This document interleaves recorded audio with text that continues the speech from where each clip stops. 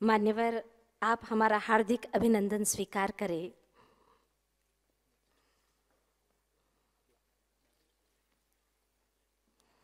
मैं माननीय उदित राज जी की वे पुष्पगुच्छ और स्मृति चिन्ह से माननीय श्रीमती हेमा मालिनी जी का स्वागत सम्मान करें। जोरदार तालियों से स्वागत।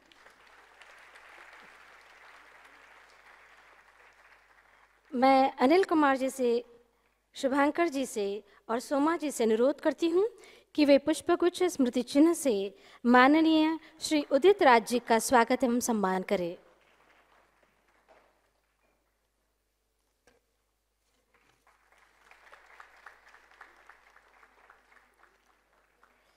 मैं शुभांकर घोष जी सोमा घोष जी से निवेदन करती हूँ कि वे माननीय श्री हरीश भिमानी जी का पुष्पगुच्छ एवं स्मृति चिन्ह से स्वागत करें।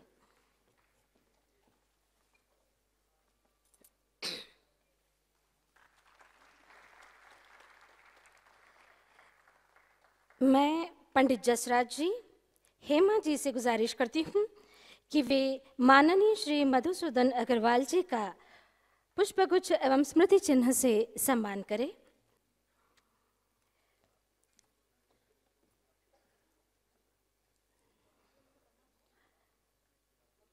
पंडित जसराज जी और हेमा जी, मधुसूदन मैं डॉक्टर सोमा घोष जी से और शुभंकर घोष जी से अनुरोध करती हूँ कि वे माननीय श्री उदित नारायण जी का स्वागत पुष्पगुच्छ एवं स्मृति चिन्ह से करें।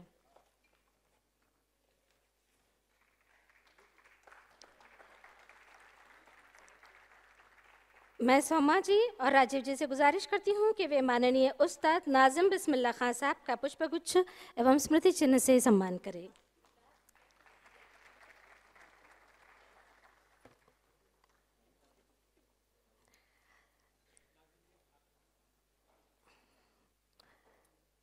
माननीय उस्ताद नाजिम बिस्मिल्ला खान साहब का पुष्पगुच्छ एवं स्मृति चिन्ह से स्वागत।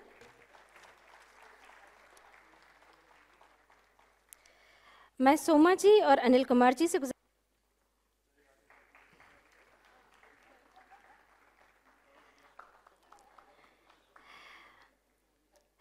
धन्यवाद।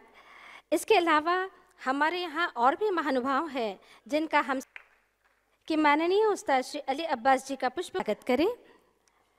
स्मृति चिन्ह भी प्रदान करें। इसके अलावा एल स्टेट बैंक यूनियन बैंक और अलग एडवर्टाइजिंग की गीतिका जी भी अगर उपस्थित हो तो कृपया मंच पर पधार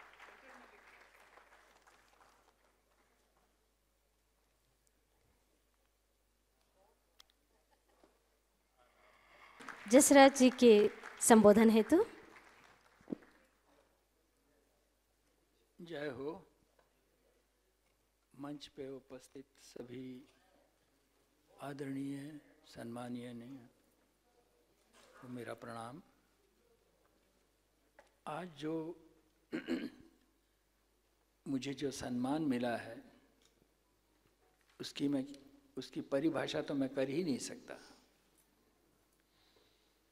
यूँ तो दो चार सम्मान मिले हैं, मगर ऐसा सम्मान नहीं। उस्ताद बिस्मिल्ला खान साहब को मैं क्या सारे बड़े बड़े से कलाकार उनको फॉलो करते थे, उनके सुर को देखते थे। और मैं एक बात बताऊँ, ऊपर वाला जानता है, वो मुझे बहुत प्यार करते थे। मैं, मुझको बीड़ी सिगरेट से ज़रा तकलीफ़ होती है। उस्ताद तो बीड़ी पीते थे। तो मैं अपना स्वरमंडल मिला रहा था और उसी लखनऊ की बात है उसी टेंट में वो भी बैठे थे और बीड़ी फूक रहे थे। और पता नहीं उनको कैसे अंदर से पता चला कि कहा, बेटे, मुझे माफ़ करना, करके उठ के चले गए बाहर। वहाँ जा के पिए। तो ऐसी सूझ और मुझको कहते हैं कि, बेटा, तुम्हारी तो गंधार सदी हुई है। जिसकी गंधार सद जाती है, वो उसका बेड़ा पार है।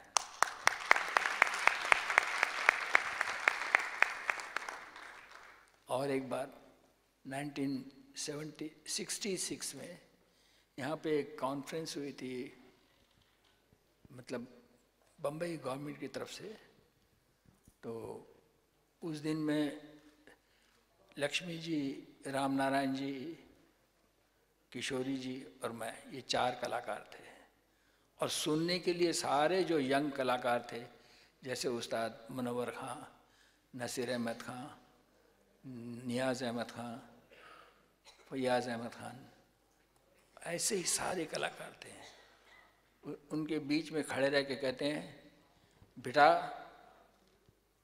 छः छः गस्तान मारने वाले बहुत हैं। तुम्हारे गले में तो अल्लाह बोलता है। मतलब ऐसे लोगों के आशीर्वाद जब मिलते हैं और उनके मुँह के निकल जाते हैं तो वो भी सुनता है कि यार इसकी सुन लो।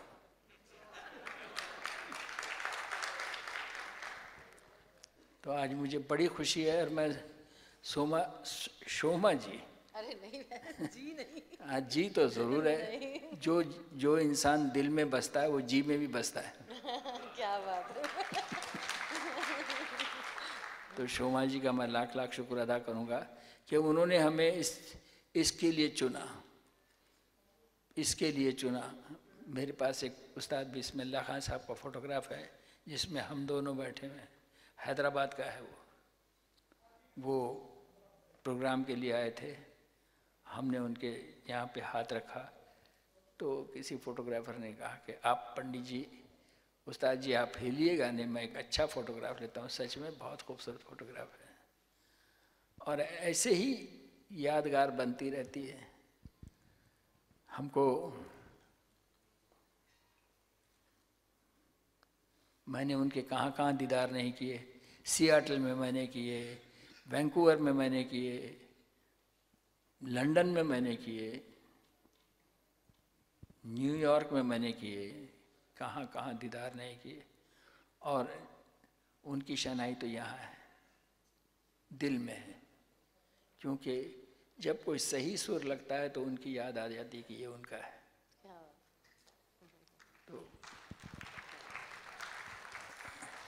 वो कलाकार ऐसे थे कि भुलाए नहीं, भूल भूल भूल सकते। क्योंकि हर सुर में जो सच्चा सुर लगेगा तो उस्ताद बिस्मिल्लाह खान साहब की याद आएगी। बस आज हम बड़े खुश नसीब हैं कि हमारी मतलब बड़ी अच्छी कलाकार हैं।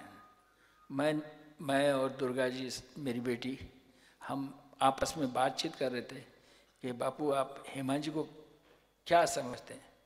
मैंने कहा मैं कह दूँगा तो ज़रा अतिशुक्ति नहीं समझना बोलेगा कि लता जी और हेमा जी वो अपनी शैली गाने में और ये अपने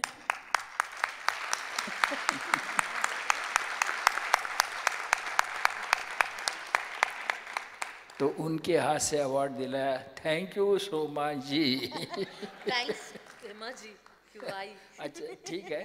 मैंने तो इनको इनको यही कहा कि आज आपने आके इज़्ज़त रख दी। जिसका भी नाम अनाउंस किया जा रहा था वो नदारत थे। मगर हमारी प्यारी पब्लिक आपको शुक्रिया आपको धन्यवाद। आपको हज़ार हज़ार कोटि नमन करता हूँ कि आप तो आए।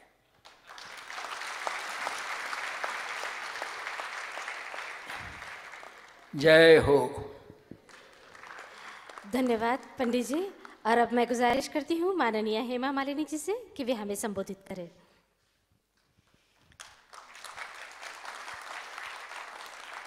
माननीय पंडित जसराज जी शोमा घोष जी इस मंच पर उपस्थित सभी अतिथियों और आप सबको मेरा प्रणाम। मिनिस्ट्री ऑफ़ कल्चर द्वारा आयोजित इस कार्यक्रम में शामिल होने का मुझे भाग्य मिला है। देश विदेश में बहुत ही मशहूर कलाकार श्री बिस्मिल्ला खान साहब के शताब्दी का वर्ष मनाया जा रहा है पूरे देश में। अलग अलग शहर में मनाया जा रहा है। आज मुंबई में है।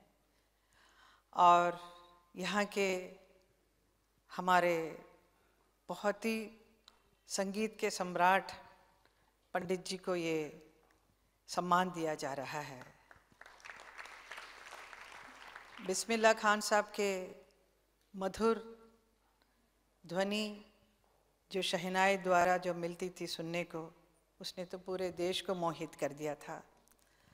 लेकिन अफसोस कि मुझे कभी ऐसा एक अवसर नहीं मिला उनको मिलने का और सामने बैठकर उनके जो बजाते हैं उसको सुनने का नहीं मिला।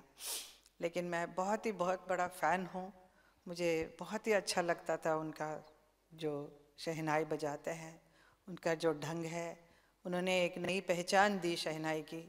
और आज भी जो शहनाई और सारंगी का जो कॉम्बिनेशन में जो बज रहा था, इतना सुंदर लग रहा था, जो बहुत दिनों के बाद ऐसा सुनने को मिला। शायद बनारस में काफ़ी मिलता होगा, लेकिन मुंबई में नहीं मिलता है। मुंबई में इस स्टेज में बहुत सारे बॉलीवुड के गाने बजते हैं, जो हम, हर जगह हमें सुनने को मिलता है। लेकिन इस तरह का जो संगीत जो सुना अभी, ये बहुत ही अच्छा लग रहा था। और मुझे खुशी है कि खान साहब के नाम पर आगे भी बहुत कलाकारों को ये सम्मान किया जाएगा। वो सब बहुत ही भाग्यशाली होंगे, ऐसे सम्मान जो मिलेगा उन लोगों को। और आज के कार्यक्रम में रजीव वर्मा जी ने मुझे यहाँ बुलाया।